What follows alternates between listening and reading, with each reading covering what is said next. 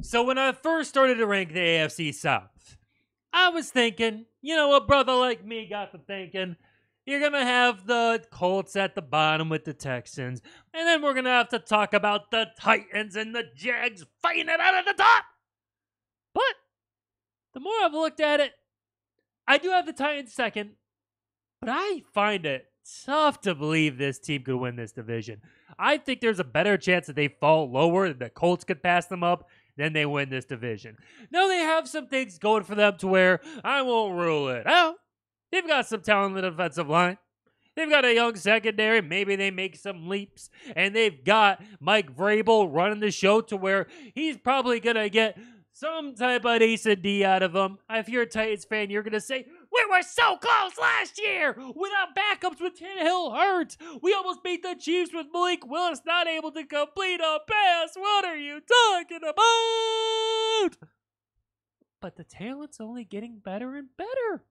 It's not like the Jags lost their guy. It's not like they lost their pieces. No, on the contrary. They've got Travon Walker going to the second year. I don't want to give the whole Jag- Jaguars breakdown, but we know that they still have the Jaguars out there in the South and in the AFC as a whole. If you're saying, well, the Jaguars might beat us, but will be a wild card. It's just the fact that all of the best quarterbacks are in the AFC. Most of the best teams are in the AFC. Look at all the best quarterbacks. Joey Burrow, my homeboy, Josh Allen, Trevor Lawrence. You've got all the best youngins in the West. Not in the West, in the AFC.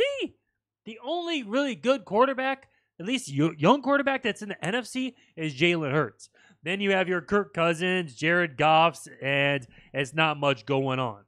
So I say all that to say, if you're going to go into the season with Tannehill, Malik Willis, or Will Levis, you better be dominant everywhere. And according to Pro Football Focus, they are ranked as the 32nd offensive line going into last to next year. Last year, we saw Tannehill taking hits after hits after hits. Yes, they've got a little bit of weaponry back after losing uh, AJ Brown last offseason for a second rounder. They do have DeAndre Hopkins to bring in. There is some good chatter in training camp about Treylon Burks doing some things, but that's just not enough to a guy like me because these quarterbacks, these great quarterbacks, it's not like they don't have weaponry. Oh no, they got weaponry.